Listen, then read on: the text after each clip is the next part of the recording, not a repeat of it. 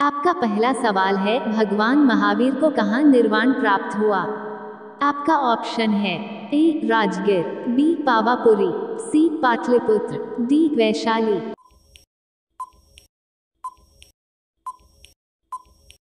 आपका सही जवाब है, बी, पावापुरी में। आपका दूसरा सवाल है, कौन सी खाड़ी भारत और श्रीलंका को एक दूसरे से अलग करती है?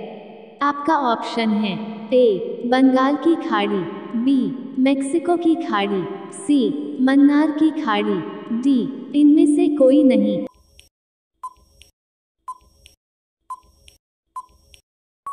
आपका सही जवाब है सी मन्नार की खाड़ी।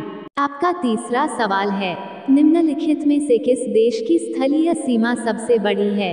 आपका ऑप्शन है ए रूस बी चीन, सी, संयुक्त राज्य अमेरिका, डी, अर्जेंटीना।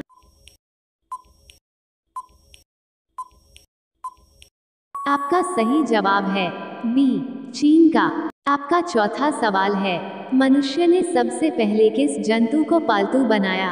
आपका ऑप्शन है ए, कुत्ता, बी, बिल्ली, सी, घोड़ा डी बकरी। आपका सही जवाब है। ए, कुत्ता को। आपका पांचवा सवाल है। भारत के संविधान सभा ने तिरंगे को भारत के राष्ट्रीय झंडे के रूप में कब अपनाया? आपका ऑप्शन है। ए 23 मार्च उन्नीस को। बी 3 जून उन्नीस को। सी 22 जुलाई उन्नीस को। डी 26 जनवरी 1950 को।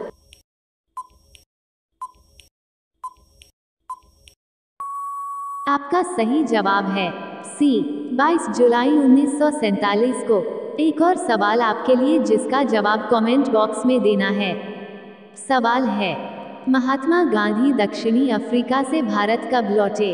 आपका ऑप्शन है, ए 9 जनवरी 1914 को, बी 9 जनवरी 1915 को, सी 9 जनवरी 1916 को, डी 9 जनवरी 1911 को। अगर आप भी अपने भारत से प्यार करते हैं तो एक लाइक ज़रूर कर दे।